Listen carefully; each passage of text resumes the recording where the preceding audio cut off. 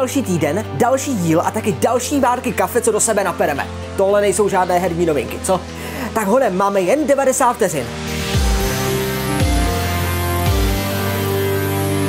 Konečně bylo oznámeno pokračování Destiny. Destiny 2 vyjde 8. září letošního roku na PlayStation 4, Xbox One a také na počítače. Během léta proběhne beta. Letošní apríl byl vydařený. Mapy Google měly na ulicích duchy s Pac-Manem, Nvidia představila USB umělou inteligenci, která za vás hraje hry, Arma 3 představila DLC Switch Move, kde si zatancujete s vojáky, World of Tanks se přesunulo na Mars. Otázka zní, zda jste se nechali něčím vůbec nachytat. Pište do komentářů podle vás nejlepší apríly. Prý startuje 6. dubna uzavřená beta Quake Champions. Přihlásit se do ní můžou všichni, ale pustí do ní asi jen 1% všech přihlášených. Takže je to asi tak stejná šance, jako vyhrát ve sportce. Nevím, proč vlastně šeptám.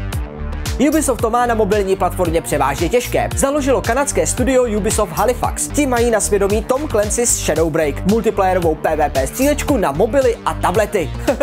multiplayerovou, Ubisoft bude dělat další multiplayer. Já už vidím, jak na svém mobilu mám napsáno u 4G připojení striktní nad. Přišel čas se vrátit do despotického světa Be Happy Few. Maidenholm Update přináší nový ostrov, nové tři nastavení obtížnosti, desítky nových předmětů, postav a questů. Be Happy Few je Early Access, dostupná na Steamu, Gogu a Xbox One. Adventuru Československo 3889 Atentát jste si mohli zahrát skrze e-shop Filozofické fakulty Univerzity Karlovy. Tvůrci ale konečně jdou na Greenlight, kde jim můžete pomoci svým ano. Várku nejzajímavějších událostí máme za sebou. Nezapomeňte si nás naladit na adrese YouTube zase příští týden, protože tak se dneska věci ladí.